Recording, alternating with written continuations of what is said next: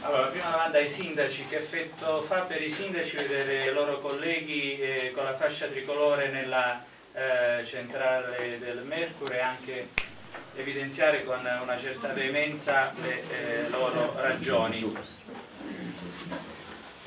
E quando si dice ci sono tre o quattro sindaci, eh, gli atti ufficiali, sono atti ufficiali, gli atti ufficiali sono, sono 31 sindaci, quel dotto hanno detto di no, due si sono astenuti e uno solo era favorevole, altri non ne conosco, ufficialmente.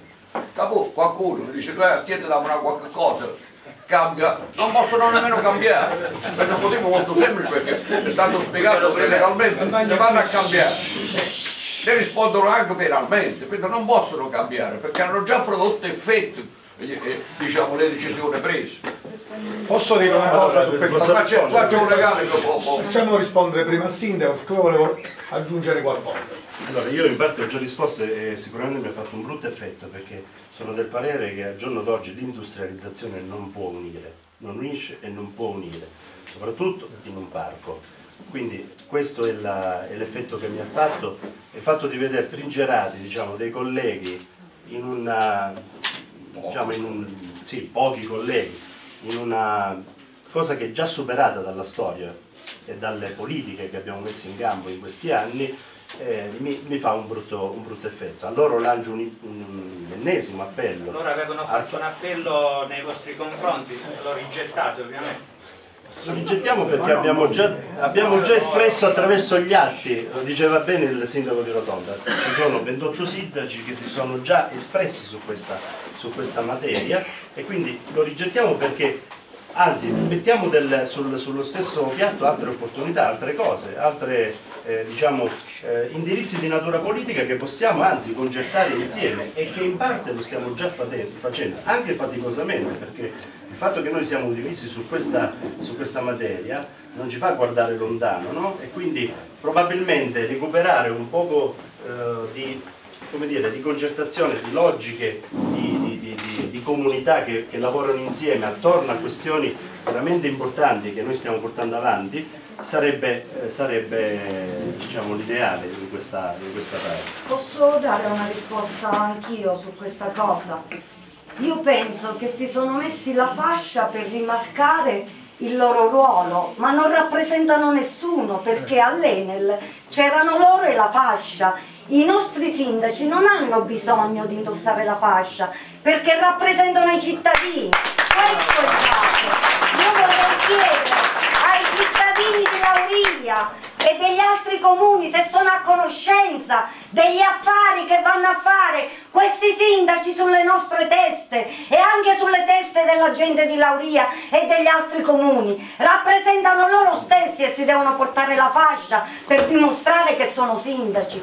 Qui non ci sono contraddizioni tra i cittadini perché io non ho visto mai cittadini di Castelluccio, di Lauria, di quell'altro paese che non so nemmeno nominare. Mormanno sta venendo qui al presidio a dire che porta solidarietà ai cittadini. E allora di che cosa parliamo? Di sette individui loschi che fanno affari sulla nostra pelle. Questo è il pensiero della Valle del Mercure e i nostri sindaci non hanno bisogno di far vedere il ruolo perché tutti i giorni si investono del proprio ruolo stando in mezzo alla propria gente e difendendo i nostri diritti.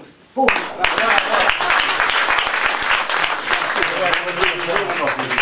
Perché, eh, a completezza di quello che ho detto prima, ehm, alcuni sindaci che sono subentrati do- lo- dopo, perché io eh, naturalmente interloquisco con queste, eh, con, eh, con queste persone, non sono nemmeno a conoscenza de- nel dettaglio della vicenda giudiziaria che è in corso.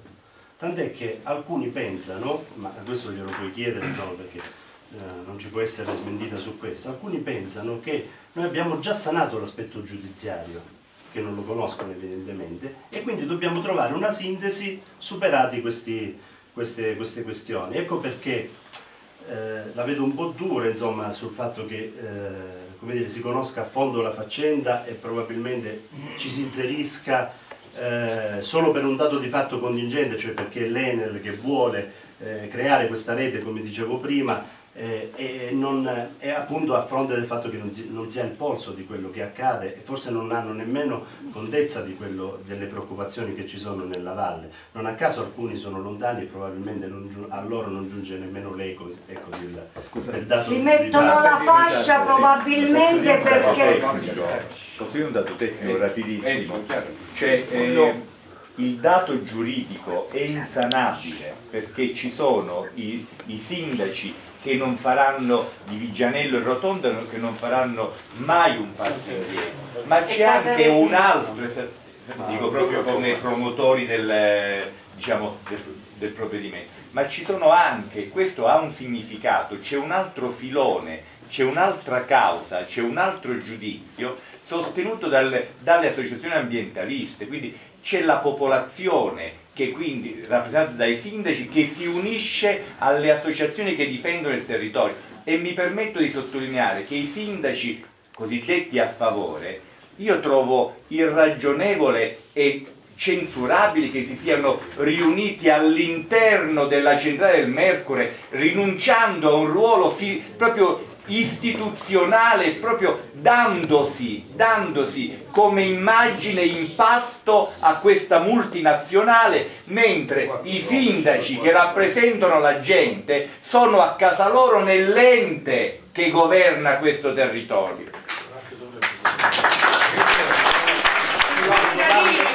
Sindaco non c'è andato perché non c'è andato. Quel sindaco di Laino Castello che prima ha detto no alla centrale poi ha detto sì nuovamente alla centrale a quella conferenza stampa non c'è andato perché forse la coscienza gli rimorde. Per quanto riguarda il sindaco di Laino forse, forse non ce l'ha la coscienza dici tu. No. è probabile vedremo cosa farà nei prossimi giorni. E il sindaco di Laino Borgo sapete quello che ha fatto quindi non c'è bisogno che diciamo altro. Ma passato con noi e il sindaco di Castelluccio Superiore aveva espresso netta contrarietà alla centrale come mai ha cambiato opinione andando a all'Enel, hanno dato i soldi, i soldi, i soldi.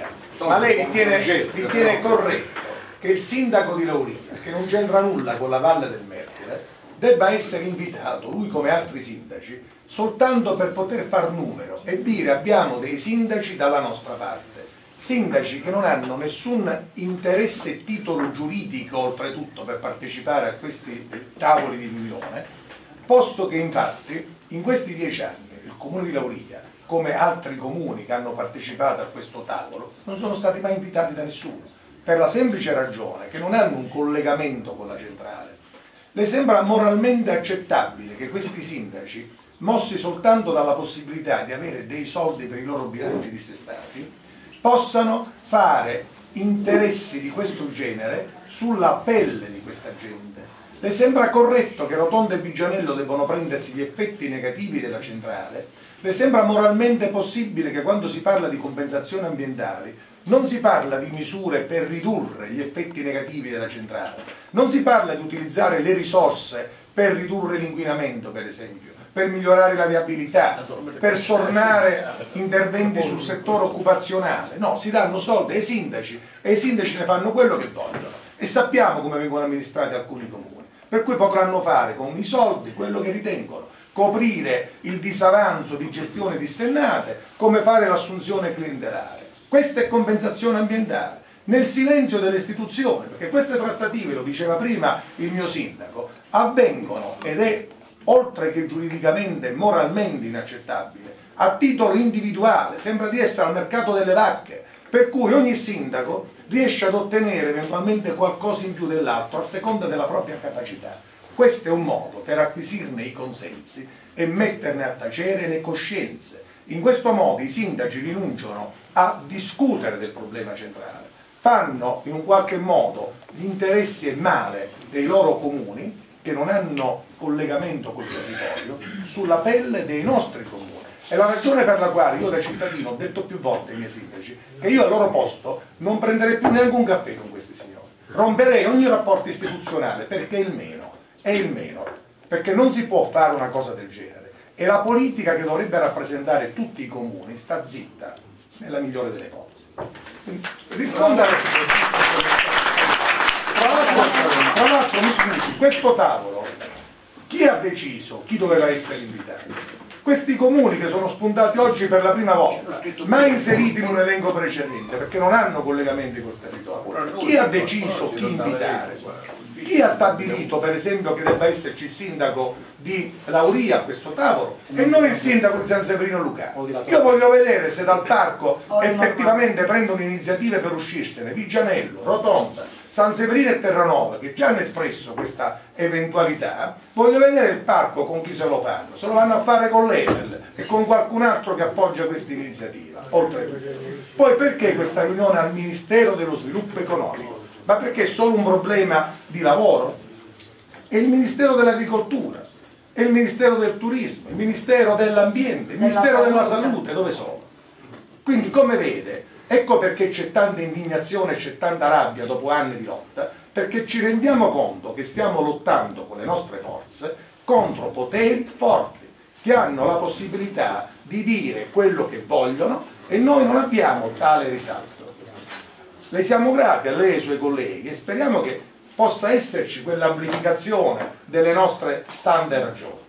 Per i sindaci che forse dimenticano il loro ruolo importante, loro sono i primi responsabili della salute pubblica, quindi non possono venire meno a questo ruolo in cambio di si, qualsiasi altra compensazione, anche perché abbiamo capito che una classe politica che vive di compensazione è una classe politica morta, non ha futuro per lo sviluppo del territorio. Per cui il fatto che diceva di perseguire, distrarre i fondi, no, il sindaco se firma e non tiene conto della salute pubblica, è lui che è perseguibile nei confronti della popolazione, sia da un punto di vista eh, penale per il discorso salute, ma anche per un punto di vista economico, perché gli operatori economici della zona possono fare una class action contro l'amministrazione comunale e io non lo so, non lo vedo bene questo sindaco che si va a mettere nel recinto dell'ente, così di punti bianchi senza valutare le situazioni, perché non sa cosa va incontro.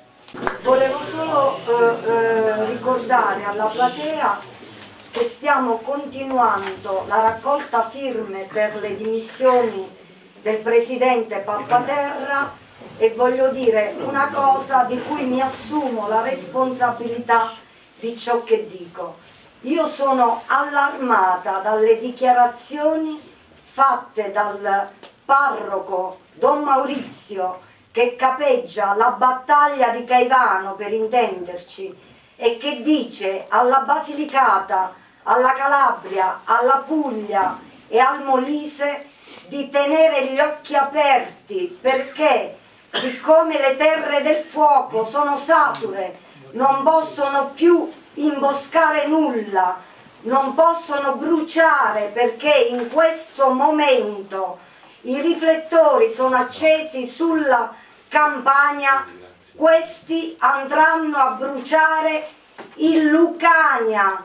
E allora la mia preoccupazione è quella che questi signori cappeggiano questo tavolo allo sviluppo economico si siano venduti il territorio questo è il dato perché noi prima del 2005 dicevamo che questo era un mega inceneritore e ci prendevano a pesci in faccia.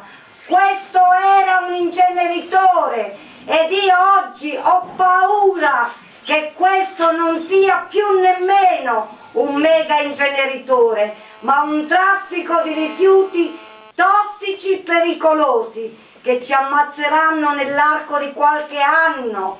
Quindi non facciamo la fine che verranno qui a contare i morti, ma faremo morire loro prima, facciamo morire loro prima, salviamoci e crediamo in queste cose, perché non può essere solo che devono fare un piacere all'Enel queste persone, queste persone secondo me devono fare altri tipi di piaceri.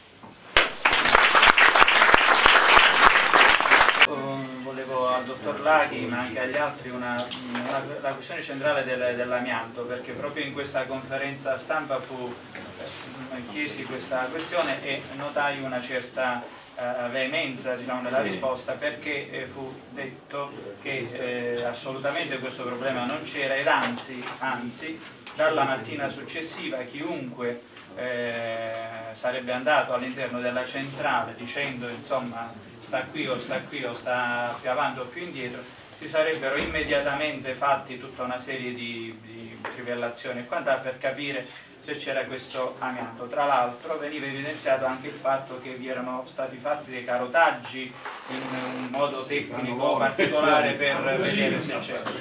Ecco, come si risponde a questa... Sì, eh, come al solito qui parliamo di autoreferenzialità dell'Enel, nel senso che eh, ci sono due cose. Uno, eh, quando questa storia iniziò eh, ed ebbe un acme intorno al 2005, eh, ci furono eh, cinque sequestri da parte del Tribunale di Castrovillari sul eh, terreno dell'Enel, diciamo proprio della centrale, e in uno di questi fe si fecero dei carotaggi e furono trovate delle sostanze cancerogene certe seppellite all'interno del recinto dell'Enel anziché essere state normalmente smaltite, tanto che la magistratura impose una, eh, si chiama caratterizzazione. I carotaggi di cui parla Enel, che sono altro rispetto all'amianto, i carotaggi di cui parla Enel non è stata una sua iniziativa, è stata una imposizione della magistratura dopo che furono trovate queste sostanze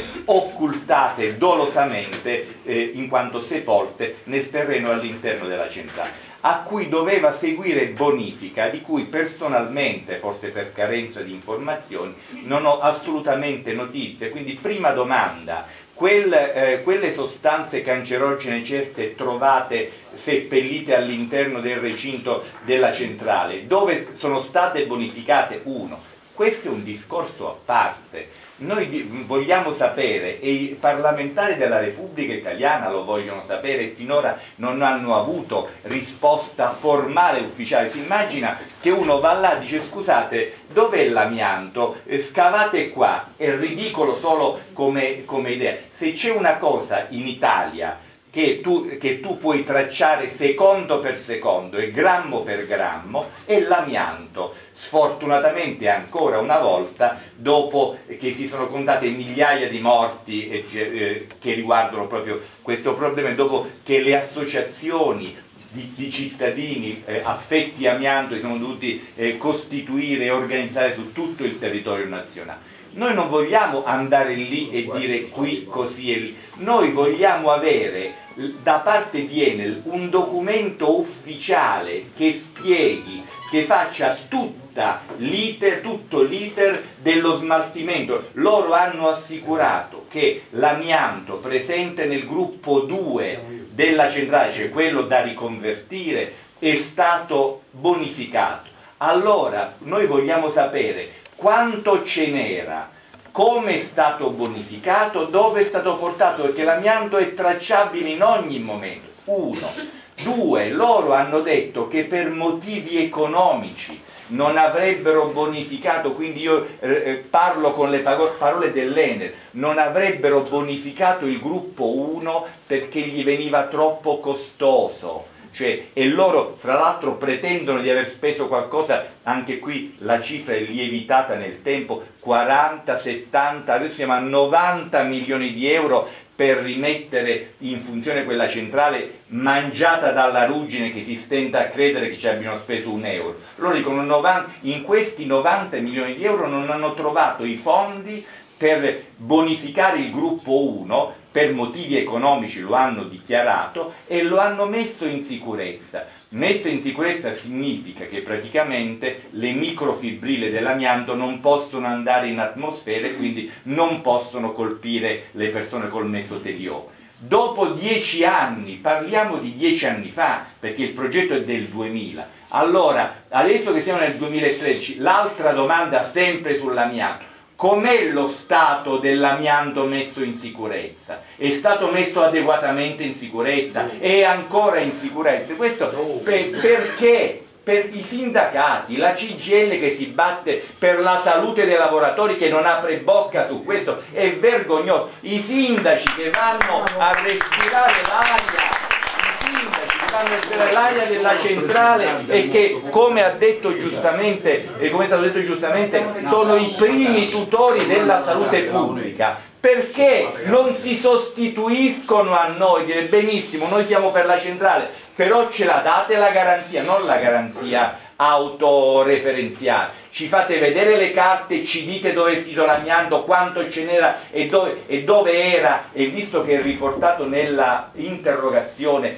queste voci che dicono che la parte dell'amianto non è stato bonificato ma solo incamiciato, bonificato ha un solo significato, preso e portato in discariche speciali, altro non può significare. Rispetto a queste domande noi non abbiamo risposta, i parlamentari del, del Parlamento italiano, i rappresentanti del popolo al più alto livello non hanno ancora avuto risposta. Questo, a questo deve rispondere l'Enel e i suoi amici doveva essere recintato e hanno fatto una conferenza ai servizi con il sindaco di Laino Borgo e l'Enel e non è stato mai bonificato quell'amianto perché deve rimanere lì in quella situazione? Che è sulla scarpata che dà sul fiume. Sul se, fiume. se c'è, voglio dire, è assolutamente illegale. È illegale, è un, è un reato. È un reato. Queste sono fonti, eh, sono fonti dell'ASP, sono fonti ASP. Queste cose che ho detto sono fonti dell'ASP. Brava parola il dato, al di là dell'amianto, dell perché se no sembra che la questione si riduca al discorso amianto, è che in generale in materia di protezione ambientale, anche oggi, non vengono garantite le condizioni delle stesse prescrizioni e autorizzazioni. Noi oggi, lo ha detto prima di me eh, il sindaco di Rotondi, le ceneri, non sappiamo come vengono smaltite le ceneri e parliamo di un quantitativo enorme Secondo i dati progettuali forniti da Enel, e abbiamo visto che sui dati progettuali forniti da Enel io non scommetterei nulla, vista l'approssimazione, uso un eufemismo, con cui sono stati forniti, ma parlano comunque di 2750 tonnellate all'anno, cioè un quantitativo enorme. Avremmo diritto di sapere queste ceneri come, dove e quando vengono smaltite? avremmo diritto che perlomeno l'inquinamento venga registrato? Si può sapere qual era il livello di inquinamento quando la centrale è entrata in esercizio e quale oggi? Le centraline che sono previste dalla prescrizione unica, perché non sono state ancora attivate in collegamento telematico con i comuni e con l'ARPA? Perché l'ARPA interviene solo dopo le nostre denunce e in precedenza fa finta di nulla? E là dovrebbe invece preoccuparsi di verificare il rispetto di queste prescrizioni. Questi sono i punti. Anche se su questo avvocato, chiedo scusa la interrompo, le due, eh, Enel sostiene che costantemente, anche perché obbligata dalla legge, sì, costantemente invia eh, i dati dell'inquinamento e quant'altro. Non ho bisogno di rispondere. Può leggere da sé quello che scrive l'ARPAD? Sì. Non le rispondo. Questa è una nota, alla fine magari... Beh, è una nota dell'ARPAD 8 novembre 2013 l'ARPA Basilicata, protocollo 009885, in cui l'ARPA dice testualmente indica tutta una serie di punti, installazione presso ogni cabina di un computer industriale, utilizzo della connessione Enel, interfacciamento, sperimentazione della soluzione, eccetera, e dice emerge a tutt'oggi un'inadempienza dei punti sopra riportati. Si sottolinea eccetera e per questo motivo li ha convocati per il 19 novembre solo grazie e a non seguito so, e non sono neanche andati. Solo grazie a seguito delle nostre lamentele. Allora l'Enel può dire quello non è andato l'Enel ha una voce più forte della nostra eh. ma certamente meno veritiera della nostra. Bilateralità della questione perché sul cippato, sulle biomasse vi sono le immagini vi è la persona con eh, tanto di guanti e di buste di sacchetti di plastica che man mano che i camion vanno a scaricare prendono so, 500 grammi, 300 grammi di questi pezzettini di legno poi nella buona sostanza e questi pezzettini di legno vengono messi poi in queste buste e portate ad analizzare, non so dove. Il problema è che non vi è una controparte no, in questa scusi, analisi. Mi scusi, sì. che questo avvenga, noi non lo sappiamo. No, no, no, questo è... è... Io personalmente... No, no, noi questo, non... questo, è, questo è registrato, questa...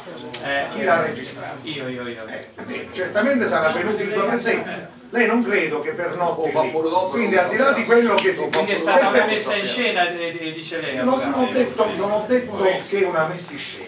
Io dico che mi sembra molto facile far vedere che tutto funziona nel giorno in cui c'è la stampa e ci sono probabilmente lo stesso giorno dei sindaci che tra l'altro aggiungo una sudditanza psicologica proprio nei confronti dell'Enel è imbarazzante è imbarazzante un sindaco dovrebbe avere dignità del suo ruolo è un sindaco che abbia un attimo solo scusami un sindaco che ha dignità del suo ruolo lei la riceve casomai al comune o in sede istituzionale non va il sindaco nella sede dell'Enel perché dimostra veramente una vicinanza all'Enel che è imbarazzante. Scusate, un, un, dato perché Enzo ha citato 2700 tonnellate. Le ceneri. Le ceneri, allora, dato Enel. Allora, infatti, questo per dire l'autoreferenzialità. Allora, le ceneri da legno sono intorno al 4-5% della quantità iniziale dato che dato Enel parliamo di 360.000 tonnellate l'anno, il 4-5% dei 360.000 sono 600, ma usiamo dati Enel per dire come non sono capaci oppure dolosamente cambiano i dati. Le ceneri del, del legno sono dai, dal 4 al 5%, quindi significa che il 4-5% di 360.000 varia da 17.400 a 18.000 tonnellate diciamo, l'anno. Quindi questo 2.700 tonnellate sono 9 volte, 8 volte in meno di quello che in realtà se ne produrrebbero. E già non ne sappiamo un decimo di questo. E non in volume cioè in peso sì, quindi in volume certo, la cenere certo, pesa di, quindi non sono 2700 tonnellate. Non sappiamo comunque nulla neanche di questo Volevo rispondere un attimo al direttore dell'inquinamento cioè i, anche eh, le centraline servono soltanto per misurare la qualità dell'aria. I parametri che loro danno poi non sono di singoli diciamo, componenti ma sono per classi quindi già questo non, non abbiamo un dato che è cumulato e non è un dato per singoli elementi. Poi ci sono altri aspetti dell'inquinamento che non riguardano soltanto la qualità dell'aria, ma che riguardano anche il rumore e eh, diciamo, gli odori, chiamiamoli così. Questi qua, di, di, questi non è previsto il, eh, il monitoraggio, anzi era previsto, c'era una prescrizione nell'autorizzazione unica da parte dell'ASP che venissero prese tutte quante diciamo, le precauzioni, le, venissero messe in atto tutti quanti diciamo, ehm, le iniziative per poter ridurre diciamo, il rumore e il cattivo odore. Questo non è stato fatto perché il, il cioè il, ehm, la perimetrazione del piazzale com'era è rimasta poi sulla qualità dell'aria ci sarebbe qualcuno sicuramente più informato di me, c'è tutta quanta una procedura perché non è che la legge è uguale in tutte quante le regioni d'Italia, perché si parte da un punto zero che dipende. Quindi su questo aspetto, anche se l'Enel, nessuno mette in dubbio che l'Enel non faccia il monitoraggio, però noi vogliamo avere delle rassicurazioni su come viene fatto, perché poi in funzione del fatto che l'autorizzazione è per eh, una centrale a biomassa, anche i parametri che vengono misurati eh, si riferiscono a questo fatto, quindi qualora, nessuno sta dicendo che venga fatto, qualora, qualora venga, venga diciamo, eh, nessuno dice che brucino altro, però qualora ci fosse anche questo pericolo, le diossine per esempio non vengono misurate perché non è previsto che una centrale a biomassa produca diossine, quindi noi siamo preoccupati, io parlo da libera cittadina e sono preoccupata. Scusate, questo è un dato tecnico, eh. allora... Se tu sei più informato di me, No, no, no, scusate, questo è un eh. L'incenerimento del legno, dato che il legno vive nell'ambiente, provoca la liberazione di sostanze clorurate, cioè di eh, atomi di cloro, che combinandosi producono diossine quindi voglio dire, è una sciocchezza dire e quindi non monitorare che le centrali a biomasse non producano diossine, perché è scientificamente sbagliato. L'incenerimento degli alberi, proprio perché assorbono quello che c'è fuori, producono ugualmente metalli pesanti e diossine, quindi producono magari meno dei rifiuti però comunque producono anche questa volta, ripeto, sostanze cancerogene certe che per il problema del, dell'inversione termica sulla valle del Mercurio persistono lungamente all'interno della valle. Perché questo è un fatto nei dati Sì. su questo non è possibile discutere nel senso che Eh, voglio dire, questi, sono, questi sono dati scientifici punto. Allora, se io ad- lo sto approfondendo, lo sto approfondendo momento, però mi pare eh, che tra gli elementi che vengono monitorati le diossine non ci sono, mentre ci sono degli idrocarburi, perché sappiamo tutti che la centrale non è solo a biomassa, ma fino a 7 megawatt eh, diciamo, funziona con olio combustibile, diesel, quello che è, e poi va, quindi monitorano gli idrocarburi, ma non le diossine. Secondo l'Organizzazione Mondiale della, della Sanità, ripeto, l'inquinamento aereo è cancerogeno. L'aspetto più, pe- più pericoloso dell'inquinamento aereo sono le nanoporte, cioè il particolato fine e ultrafine, che ovviamente nel caso dell'incenerimento del legno è estremamente rappresentato. Quindi quella centrale comunque è un pericolo per la salute sia per quello che fa, sia per dove lo fa, per la gente che vive all'interno della valle del Mercurio e non solo. Infatti, se posso volare un poco più basso, e poi eh, diciamo, registrando anche gli umori della popolazione, sono le dimensioni, le dimensioni dell'impianto e la conformazione geografica della valle. Non a caso le popolazioni di Vigianello, di Pedali, in particolare Vigianello, Rotonda, eh, che fanno praticamente da cornice e sono un na- su- il naso sopra la- la- il, il comignolo, sono preoccupati proprio per l'impatto devastante che se lo porta dietro insomma, la dimensione del- dell'impianto e per il fatto che comunque la ciminiera è al di sotto delle, delle- delle cornici delle case. Cioè, questo è l'elemento eh, diciamo, che fa poi la cifra di tutto quanto il resto e, e- e, diciamo, poi c'è anche il contesto tecnico che è stato esorentemente dibattuto. Ci sono degli organi pubblici che hanno il dovere di intervenire. Perché questi signori non intervengono?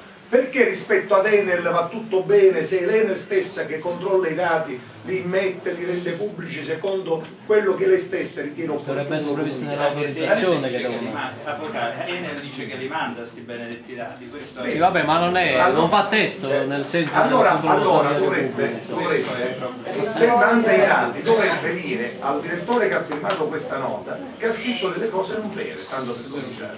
A parte che i dati dovrebbe mandarli anche ai comuni. Io vorrei fare se Questo loro? permettere, la strategia da, da- da- da oggi pomeriggio in avanti, nel senso che il, eh, cosa si prospetta nel vostro impegno sia eh, politico, istituzionale, sia eh, associativo e, e Siamo tecnico. Esatto. Qui si è creata una fusione eccezionale tra le istituzioni, la gente, è un unico corpo. Esatto, Ci muoviamo quindi- insieme. Esatto, questo unico corpo cosa farà da oggi pomeriggio? eh, tenendo conto ad esempio che c'è un nuovo governo regionale, tenendo conto che alcune cose stanno maturando in un certo modo e che e quindi probabilmente insomma, eh, faranno anche eh, evolvere insomma, la situazione eh, nel, nel corso delle prossime settimane. Sì, eh, l'idea è quella di continuare il presidio nelle forme che stabiliremo diciamo, oggi stesso e, e con, con- con l'assemblea e con i comitati e poi naturalmente la cosa che ho detto prima, cioè di investire il Presidente della Regione Quindi chiederei un incontro ufficiale Sì, alla- ufficiale, sì, la- nei prossimi subito, giorni, subito. nell'immediato. Sì. Eh, continuiamo a sollecitare il consiglio direttivo e il presidente a prendere contezza di quello che accade all'interno del parco e, e naturalmente questo presidio va avanti fino al 3 di dicembre per scongiurare che si tenga questo questo ennesimo tavolo di concertazione che noi naturalmente rigettiamo.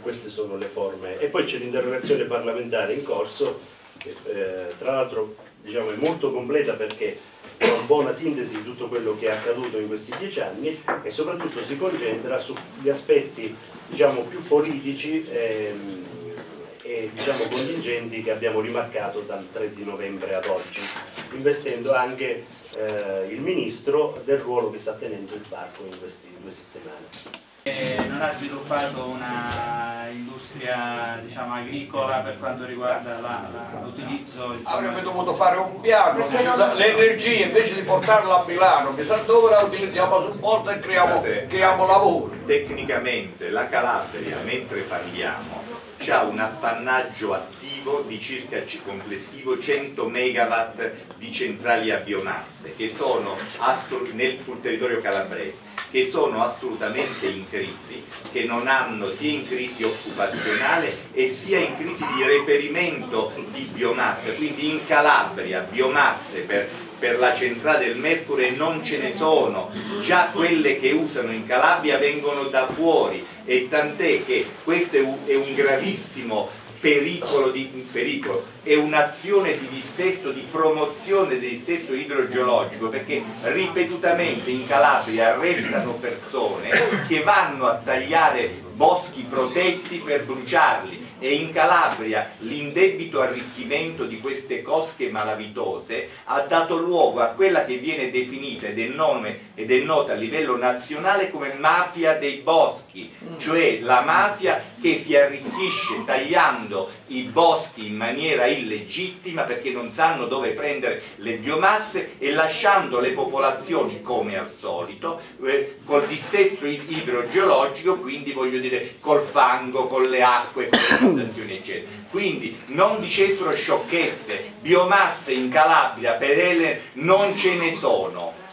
aggiungo, è vero che... eh, scusa un attimo solo aggiungo, non ce n'è neanche in Basilicata perché la Basilicata forse dimentica che la nostra regione non ha nulla da invidiare alla regione Calabria quando ha disponibilità verso gli impianti di biomasse. Da ultimo ne hanno autorizzato proprio pochi giorni addietro uno ad Aliano, nel comune di Aliano, per la bellezza di altri 24.000 megawatt ed è stato ridotto a 24 megawatt, 24 megawatt ed è stata ridotta la potenza originaria. Già solo quella centrale assorbirebbe tutta la disponibilità di biomassa della Basilicata quindi siccome non devono fare il gioco delle tre carte in continuazione, non c'è disponibilità di biomassi in Calabria, non c'è neanche in Basilicata. Anche se si pigliano poi gli stessi atti e si utilizzano a volte dicendo che quel terreno può coprire la centrale del Mercurio, a volte per coprirne altre. Non ce n'è disponibilità di biomasse e poi, mi scusi, ma perché deve essere l'Enel a decidere la politica di un territorio? poiché qui non abbiamo biomasse, loro decidono ugualmente di fare una centrale a biomasse di quelle dimensioni, dobbiamo sobbarcarci tutti i problemi connessi. E se a noi non va bene tutto questo, se noi in assoluto vogliamo, si è fatto questo parco, noi vogliamo il parco, probabilmente quelli che purtroppo lo rappresentano no, ma noi vogliamo il parco. E il parco con una centrale non ha nulla a che vedere. Noi vogliamo uno sviluppo diverso per questo territorio e quindi la politica deve capirlo e deve rivendicare questo ruolo perché è un'opportunità, altrimenti andremo avanti in questa battaglia anche senza la politica e contro la politica se necessario. Io volevo fare solo una considerazione, oltre alla qualità dell'aria eh, e l'impatto che possono avere i fumi, probabilmente non consideriamo, o meglio, noi lo consideriamo, ma è grave che non lo consideri il rente di gestione del Parco Nazionale del Pollino, che l'impianto a biomasse essenzialmente ha una linea produttiva che è finalizzata a due produzioni, una che è quella del calore e l'altra è quella dell'elettricità. Ovviamente il business è sull'elettricità e ci si sofferma tutti sull'elettricità, ma un impianto che non utilizza minimamente, perché non è stato proprio concepito no, per valorizzare... Scusa, scusa solo Sindaco, non è stato concepito per come è localizzato, per come è stato riattivato, per una valorizzazione del vapore anche nei confronti delle comunità locali dissipa completamente un quantitativo enorme di vapore a prescindere dalla qualità di ciò che si va a bruciare e quindi dei fumi e di tutti i monitoraggi opportuni e necessari. C'è una quantità incredibile di vapore che viene immessa in atmosfera che non può non incidere sul clima, soprattutto in un contesto territoriale come il nostro. Il secondo, il secondo eh, elemento che mi permetterei di osservare, al di là del giusto rischio sui rifiuti, nel momento in cui le biomasse provengono da territori diversi e distanti dai nostri, tutte le giuste valutazioni anche che faceva il vice sindaco in termini di antieconomicità dell'impianto che è dotato da politiche incentivanti che nel momento in cui venissero meno ci consegnerebbero un rottame che non sarebbe più appetibile a chi. Il tema è anche un altro. La combustione può immettere degli agenti patogeni e purtroppo c'è letteratura anche non soltanto nei confronti della salute umana ma anche nei confronti dell'ambiente, quindi delle specie che vegetano in questo territorio perché sarebbe combustione di biomasse di essenze che vengono da contesti diversi, quindi probabilmente caratterizzate anche da fattori patogeni diversi. Ci potremmo trovare con problemi seri anche per quelle che sono le nostre realtà ambientali che amiamo e che vorremmo tutelare. È strano che questo tipo di considerazioni debbano venire da noi e non da chi è preposto. non dall'ente E E non da chi è preposto a fare tipo riunioni sulle biodiversità. C'è, c'è una, cosa da chiarire su questo argomento. Il calore, il calore volevano portarlo a rotonda, fare un impianto di teleriscaldamento. No, e, e, e questo, questo, questo, questa è la volontà. E io ho detto che io preferisco il freddo a casa. Mi piace il senso. Stare freschi. Va bene, grazie per la cortese attenzione.